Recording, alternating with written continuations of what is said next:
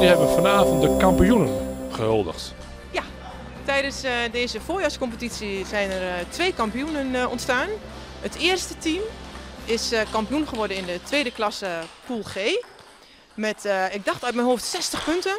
En het zesde team is ook kampioen geworden in dit, voor, deze voorjaar. En die hebben maar liefst 80, 82 punten gescoord van de 100, dus dat is hartstikke mooi. En we hebben vanavond uh, ook uh, Xem Reuring in het zonnetje gezet, want die heeft bij de jeugd uh, het beste gescoord. Hij heeft 70% van zijn wedstrijden gewonnen, dat is al heel veel. En Xem die speelt in de Table Stars topcompetitie. Dan moet je je voorstellen dat het ongeveer vierde klasse is bij de jeugd.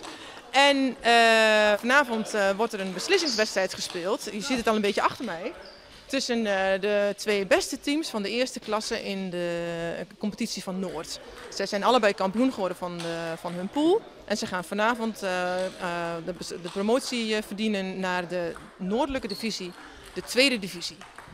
En als klap op de vuurpijl hebben we vanavond, en je ziet hem hier al staan, nieuwe speelveldafzettingen gepresenteerd gekregen. En die zijn gesponsord door onze hoofdsponsor Bos Bedden.